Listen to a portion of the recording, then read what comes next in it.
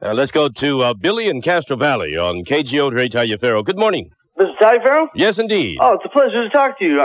I'm a big fan. My poem is somewhat, you know, humorous. Mm-hmm. It's entitled uh, "The uh, Colors of the Human Animal Type Species."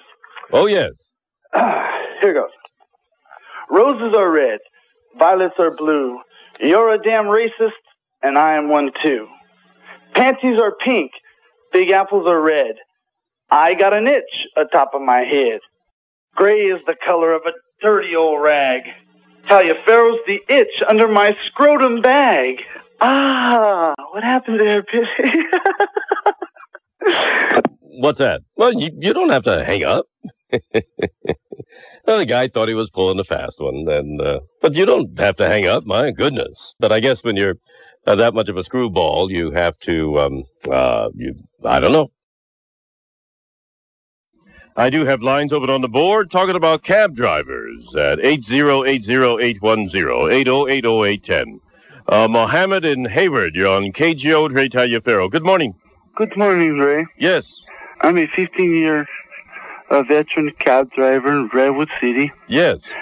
People has a different attitude. Yes. Um, I, I you know, it makes me very angry sometimes. I, a man, a man took out his his penis and offered payment of penis for twenty five dollar fare. I cannot take this Oh boy.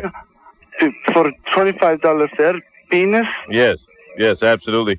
They don't. If people don't have time for you, they don't uh, uh, speak nice to you. Mm-hmm. They don't respect you if you're from another country or you know. Well, that's exactly what I've been hearing. Thank you very much for your call. Well, uh, it's um, it's rather difficult to pay for a large fare with a small penis. I understand that.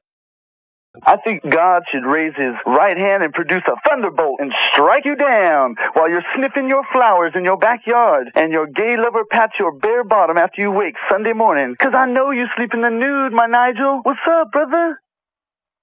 Are Are you still there? Oh, I thought you hung up on me, Nigel. What you doing? You don't remember me, old Billy?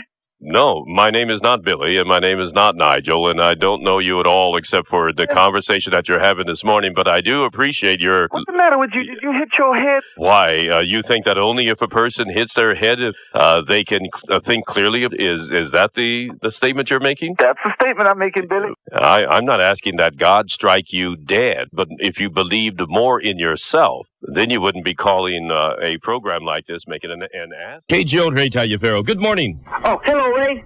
Yes. I'm a black male, and I, I want to tell you, I have a white girlfriend, and I've been victim of this prejudice you're talking about. See, uh, uh you know, uh, I believe it's a sign of uh, racial tensions easing and allowing integration between the two races. You see, um, So you feel you're doing something for the cause? that's right. White women are wonderful. and I've been those black women that are so mad. Tell them, say, go and get yourself a white man. It's beautiful. Or better yet, um, Portuguese man. You know, some of the things you've said about Portuguese have been very negative, Ray. And I wish that you would, you know, revert and come. Uh, Uh, what, uh, what what have I said about? Uh, when have I talked about Portuguese?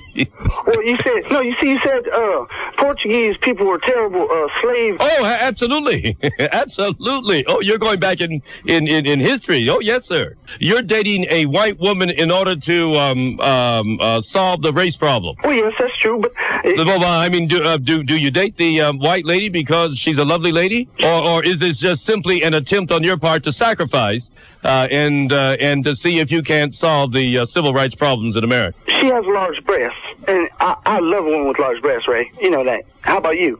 Uh, well, well, now wait a minute. Now, wait a minute. Now, I'm, I'm not asking you to give me an anatomical analysis. Oh, wouldn't Uh, no, no. I uh, we, we were talking about the sociological effect of this, not the physiological. I'm asking from from your personal experience. Uh, you're not simply dating this uh, white sister because uh, No. because of the uh, mammary um, uh, affectation uh, of which you've described.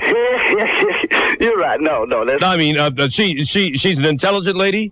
very intelligent. Very intelligent. Mm, no, she's cultured.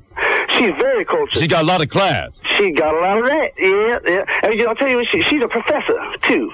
Now wait wait a minute, brother. Uh, you mean to tell me a, a brother like you is up there dating a professor? A professor of what? I, I'm telling you, Ray, it's the fun. Yeah, right. I'm sure you are.